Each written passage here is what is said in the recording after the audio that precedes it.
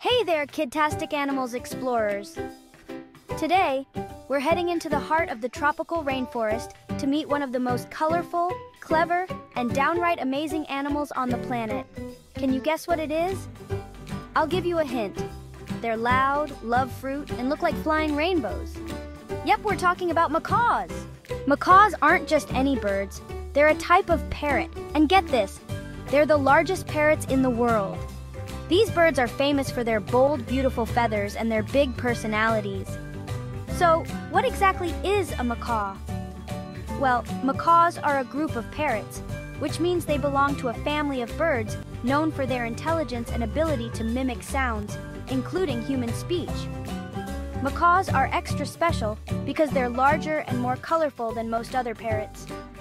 Some of the most popular species are the scarlet macaw, blue and gold macaw, and hyacinth macaw, which is the biggest of them all. Macaws are right at home in the tropical rainforests of Central and South America. Countries like Brazil, Colombia, and Peru have some of the largest macaw populations. These rainforests are warm, lush, and full of tall trees, the perfect place for macaws to thrive. But they don't just stick to one area. Some macaws are known to live in savannas and even along riverbanks. They're usually found up in the treetops, where they can keep an eye out for predators and find plenty of food. Oh, and let me tell you, macaws are not shy. You'll often hear their loud squawks long before you see them. Now let's talk about what's on the menu for macaws. These birds are big-time foodies and they love a variety of snacks. Their favorites? Fruits, nuts, seeds, and even flowers. But macaws have a little trick that sets them apart. Check out that powerful beak! It's like having a built-in nutcracker. This beak is so strong that it can crack open tough nuts that other animals can't touch. And here's something interesting. Sometimes macaws eat clay from riverbanks to help them digest food that might be toxic. Talk about clever! Macaws aren't just known for their eating habits. They've got a few other tricks up their feathers. For starters, macaws are incredibly social. They live in groups called flocks, which can range from 10 to over 30 birds. These flocks aren't just for fun, they help macaws stay safe from predators like jaguars and eagles. And speaking of communication, macaws are like the chatterboxes of the jungle.